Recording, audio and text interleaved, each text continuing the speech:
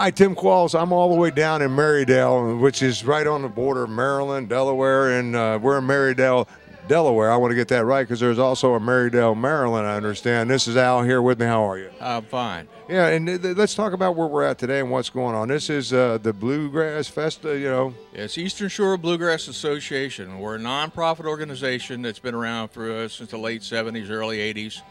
And it's really started to uh, to promote to promote bluegrass. In the old days, it was hard to find live bluegrass to go see. Not like now, you can have even have cable stations with the music, you know. And uh, so everybody that was interested joined and everything for a while. We had festivals and everything. And now we just have a show once a month at the Firehouse here at Marydel. It's the second Sunday of every month. Starts at 1 o'clock. Yeah, but what, what I'm amazed with because I love this stuff. I mean, and it's hard to you say like you say you can find it on TV and stuff like that, but to actually experience bluegrass music live, this this takes you back into some real deep roots of America right here. These guys, I'm just hearing them play just sends chills on my back because you don't find music like this anymore. No, I mean everything is even country music now is like rock and roll. You know, 60s rock. I agree with you. it's all the same thing: drums and bass guitar. Where this is all acoustic instruments, and uh, and uh, now the genre is now because there is no real country music like there used to be. A lot of guys are picking up classic country music and playing it, mixing it up with the bluegrass. So you hear some slow tunes that might have heard in- on the 50s or 60s on the radio. You know. So. Yeah, I, I love the sound of it and everything, and once again, it's it's it's building that and keeping that spirit of America going as, as far as that that music, because otherwise that's a dying music. You know, there's not a lot of people that's uh, into it, but once you come and sit and really can see what this is all about, I mean, it's good music. Oh yeah, it's good music, and a lot of the songs tell a story.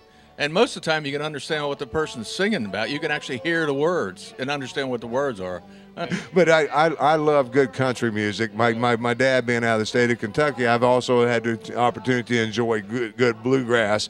And, you know, I guess the last bluegrass I, I can think about that really claimed it was Ricky Skaggs way back when. But then and that's, and that's, you know, I get to think about that, 20 years ago. yeah.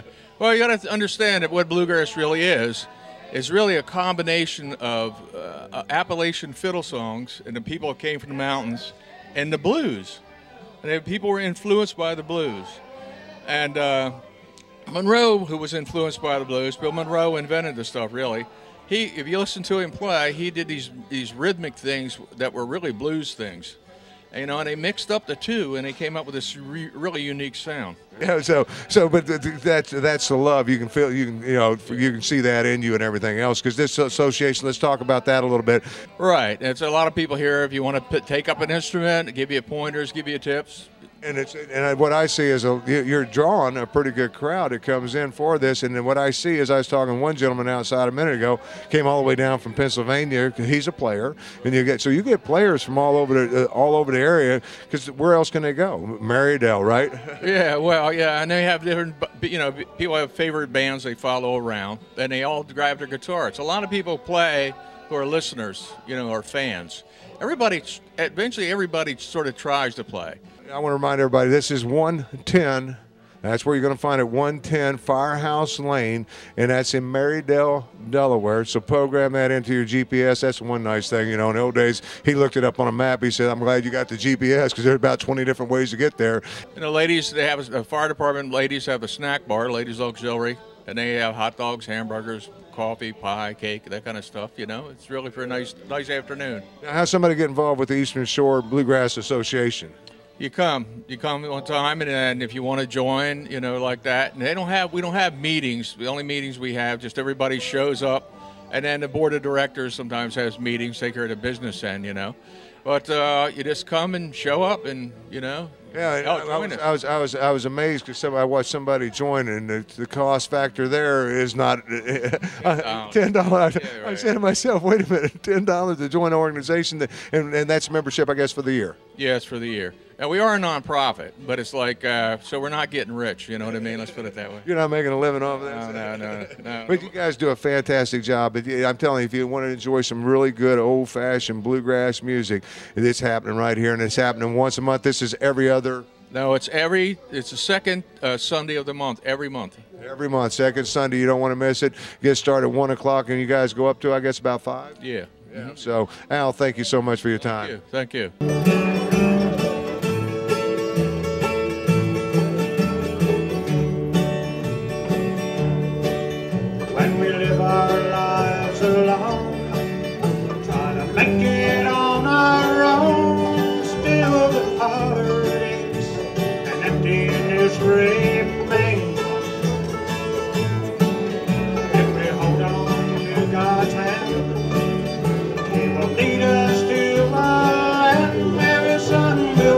Oh.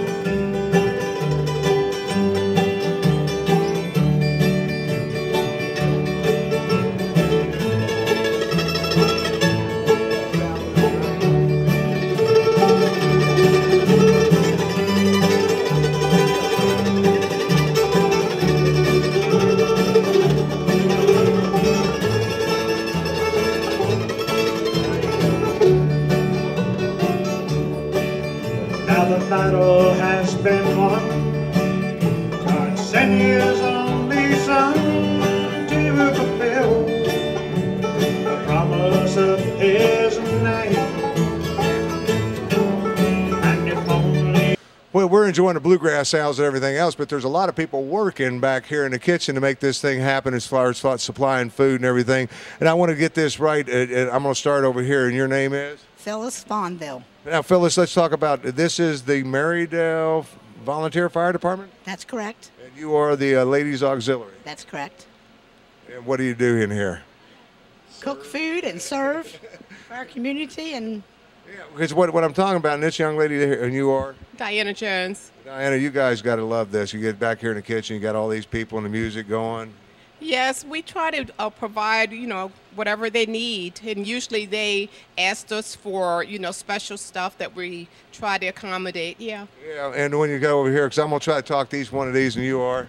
Pam Hyde. And Pam, when it, when it comes to the ladies auxiliary, this is the important part because this is important because this is money that's going back to the fire department. Correct. And it is also a community service. Uh, Bluegrass enjoys coming to our fire company. They enjoy our food.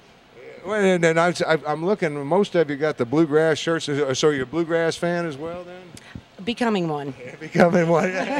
it's kind of irritating music. You get used to it after a while. Yeah, well, when you're from New Jersey originally. Oh, that, no, see, see that? Well, see, I got a little bit of Texas blend with some Kentucky, so that fits right. You know, I, I have no problem with this at all. But it's, uh, you know, it's it's an adapted. Now, this young lady over here, she's a, uh, uh, you're, you're not a bluegrass fan now. Oh yeah, I am. I am. Are are you are you really? You you enjoy it? I've been watching bluegrass coming up here with my grandfather when I was a little kid, so I, I love bluegrass. So you're going to carry the gent the thing on. You're going to get up there and on the stage. Oh no, no, no, no. That's not going to happen. Now I see you. You got the. Are you part of the fire department? Fire department. Yeah. So it's all a volunteer, correct? Mm, I'm a volunteer firefighter. My dad's the chief. My dad, um, my brother's a lieutenant. So I've been in it for a while. Well, it's got to be fun too, uh, you know, because all the training and everything. It's not fun when you have to go out on a real, real deal. We're going to find out more about this, uh, the fire, because I'm going to try to do something with the fire department. But I want to talk about the ladies auxiliary because you guys work hard to ra- help raise money so they can buy the equipment they need and everything else. So that's that's what this is all about, correct? Correct. We work together as a group. We are, of course, the fire side and the auxiliary side, but we are one group. Yeah. And when now, when because when you talk about this, all volunteer. Yes, it's all volunteer. Yes. And It's nice. It's nice when you know these guys and you don't need them. It's like insurance. You don't need them until you need them. So, because it's a full time deal. Because one of the things you got going on is uh, once a month, and, and my brother in law now he's uh, on the camera over there, and you can tell by the size of his belly. He likes to he likes to eat a lot of food, and he likes not paying a lot of money for it. He noticed on there once a month you guys do a, you know, all you can eat buffet kind of deal, seven dollars. I mean. Uh, yes, all you can eat breakfast for seven dollars. Yes. Every third uh, Sunday of the month. You see his belly? Uh, he, he he will drive from Wilmington, Delaware, down here to eat that set for seven dollars. It's, it's all you can eat. Ladies, want to thank you. Thank you so much for your time. Now, where's where's your dad at today? Home. So he don't like the bluegrass then? No, he's just. We've been working all morning with the breakfast, so he's he's at home relaxing. So he is the chief then, and your and your brother is the. Lieutenant. What are you? I'm just a firefighter. That's all that. Like, all right. Well, this is the ladies auxiliary, so you always support your, your local fire departments, but definitely support your ladies auxiliary because that's who helps supply the money and helps the fire department function the way they need to function. We're going to go back and listen to some more bluegrass, then we'll come back and we're going to talk about the fire department itself here in just a minute. Stay with us.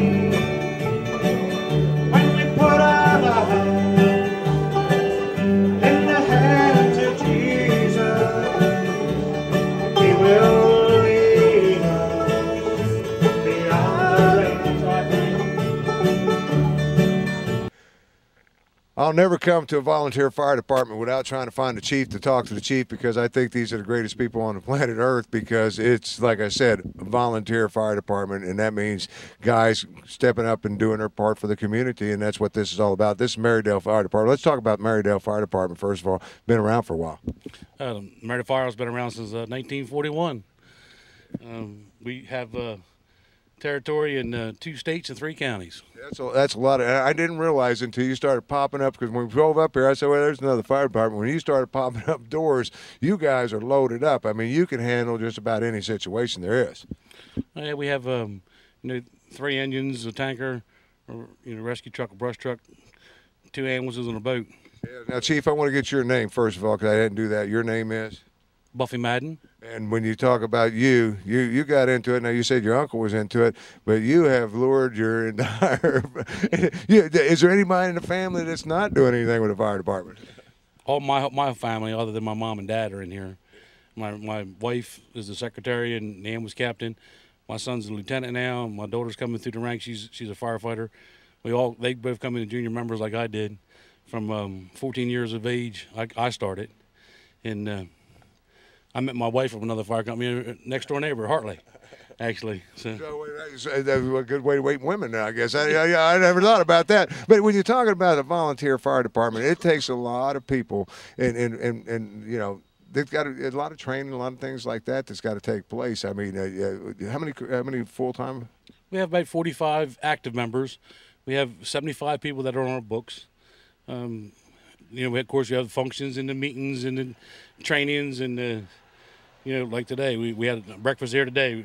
The members here at 6 o'clock this morning cooking breakfast for these people.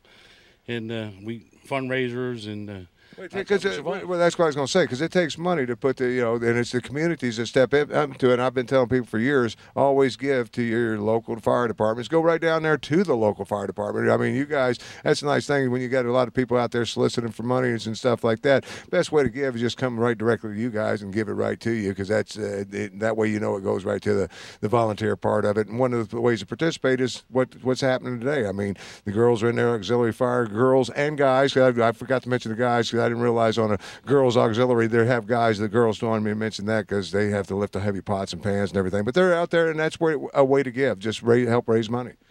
Now, it used to be that the girls was on the ladies' auxiliary, and the guys was the fire service.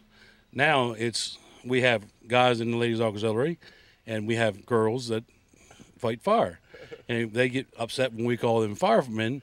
They're really firefighters, and I mean them girls. I tell you what, there's some girls out there today I go in and burn a building with. Yeah, well, I, I was going to say your daughter looks like she's uh, she's all gung ho. She she she seems to love what she does. I mean, I got a chance to speak with her today. She's over there helping the ladies. I mean, and, and, and doing some of the cooking and stuff. But she's an actual firefighter, and she she loves it. Oh yeah, she it, it, like it's bred into them. You know, they've been around as this fire service. They're firehouse brats since they've been well, old enough. I guess uh, you were 14 when they when you started. I, I guess they, they were pretty much raised here. Let's talk about being raised here because you know you came in and I, I met a young lady in here uh, here for the bluegrass, but more for the fire department. Her husband was chief when you came. Uh, I guess you served under him and kind of memorial hanging in this fire station for him now. Well, um, you talk about Allie. Well, I know, I know it's tough. I hit you at that chief there because it's, uh, you know, just so you'll know, I lost my wife here in March uh, last year, so I, I know the feeling when you lose lose somebody that close. But a guy was the chief for, I, I understand, like 15 years. Yeah, he was chief. Um, I think 13 years, um, but he was the godfather of this fire service of, of at least, and uh, the things that he done for this community in the fire service in Delaware. Well, he's one of the first ones to enact the uh, the Delaware Chiefs Law. I don't, I don't, I don't want to interrupt you there uh, for a second, uh, just just because we say you know he helped enact the Chiefs Law, a very important law in the state of Delaware. I understand. It is a very important law for in the state of Delaware. I wish the surrounding states would have it. Um, the Chiefs Law, Title 16, it lets us uh, lets the chiefs have the authority to control the whole situation, where we actually have more power than than the governor, and to ask for things that we need to control a fire or control, you know, emergency that we're Well, you, you know, I'm, I'm sitting here and while you're saying that, I'm thinking to myself, well, what's the governor know about fighting fires? They better put, let the guy that knows what uh, and, and experience. Because 14, I don't want to tell how old you are now, but from 14 years old, you've got to be one of the most experienced guys. Probably been on most situations that you're ever going to see with a fire. Well, I've been chief for 19 years, and uh, I don't know everything. And there's a lot of other people out there know a lot more than I do. And I learn every time I got on a fire, and I learn every time that I go to a different training. I still learn, and uh, I take something from the old chiefs and uh, my surrounding chiefs around me. The, the surrounding chiefs around me, like my brothers, we talk all the time, and I learn different things from them all the time. And I hope they learn different things from me. You know, you guys, you guys are out there and you run into different situations. I was happened to uh, in, in the military with involved with a fire, unless you're really involved and see it, and uh, you don't know how quick things move. And you guys got to be there and make, and you got to make that call right there because you're the, you're responsible for all those guys. Not only trying to protect me as, as, as in, in my home, but you got to protect those guys and doing their job. Oh, that's that's correct. You you never know what situation you're going to run up on. Every every alarm is, is different. There's none of them that is, is ever the same. You know, there's none of them is ever textbook. Something's always going to go wrong or some different problem that you're going to have to solve. And uh, you know, you, you just do the best that you can do and hope you make the best judgment and to bring all your people home safe and protect the property that you're going out there to protect and the lives that you're going out there to protect. Because that's the most important thing is the, the people's lives. There's no doubt in my mind you guys laid on the line. That's why I said, you know, especially you know when you're talking about volunteer fire department, it's up to you to keep these things, these doors open, and and, and keep the volunteers. If you're a young man out there, and if you got uh, somebody, I always say if if you're active in things, it keeps you out of trouble. I guess being 14 years old, your uncle bringing you into that kept you out of trouble. That's well, in in a small town, we had no other place to go, and uh, we either have the ballparks or the firehouse. We didn't have these little convenient or you know the little shopping malls and stuff. We didn't have that back then, and uh, the place it did keep you out of trouble, but we couldn't do the things we did we do now if it wasn't for the members that we have. I may be I might be chief for 19 years, but just because the members that I have below me that are so good, including the ladies auxiliary, you know, they're the those are the backbones of the fire service, and they don't- they, they don't get recognized enough as long as what the men don't. And I say the men is uh, this is the men's side, that's the ladies' side. but it, it's the firemen or firefighters now So I mean, because we have girls in here to fight fire too. So Yeah, I, I hate to bring up the old chief and everything, but I did meet his wife, and, and, and the reason uh, it's a it's a sad situation because you know he was chief for all those years and everything else, and, and we're still participating. I'm sure long after he stepped down from chief, uh, but he was uh, passed away here last year in September 2nd, I believe it was, and you guys really honored him nice by saying as long as Marydel Fire Department is standing, his his uniform or his his jacket will f- fly in your your house. As, as long as I'm chief, his gear locker always staying in his firehouse. Al Lane was inspiration to me, and I know he was inspiration to a bunch of other guys in this whole town. And um, like I said, he was our godfather. Believe it or not, I mean, he he bred and lived and bred the fire service every day of his life. And at the same time, trying to make a living, you know, because you got to, you know, when you're doing a volunteer, you're out there doing other jobs as well, and all of a sudden the siren goes off, and you guys say, "Oh, oh." Well, he was uh, Al was actually uh, one of the first dispatchers for the Kent County 911 system. Um, when they come in with the chief's law, and part of his, you know, 1975 range like that, they started at Kent Center, and he was one of the first dispatchers, and he worked there about 20 some years, and retired. But then he taught fire school, and he was chief here. He was always in, you know, The man was involved. the man was always had to do something to do with the fire service. And I, you could probably go to Puerto Rico and, and, and find somebody that knew Al Lane because they would come to Delaware State Fire School and, and teach. And he was an instructor out there. And wherever you go, everybody says, "Oh, you're where Lane was." Yep, I'm where, where Lane. you was. got you got to be very proud of the fact that you had the opportunity to be an old man, and, and I know that your uh, greatness has come from you. I've talked to some people there. You're very well respected in your own right, Chief, for the job that you do and uh, and the work that you put in. And we we thank you. You know, I'm not in this community, but uh, from the other communities out, and for all the citizens out there that have to rely on volunteer fire departments, I thank you wholeheartedly. Well, I thank you, and I, I, I thank you for your time, and I enjoyed talking to you.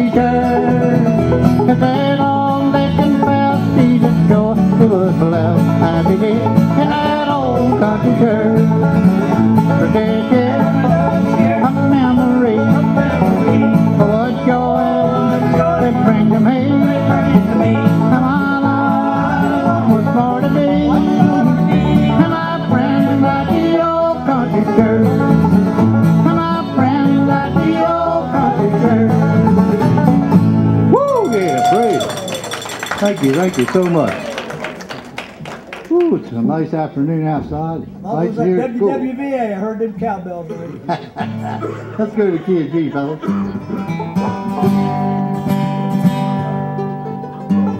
Well, it makes no difference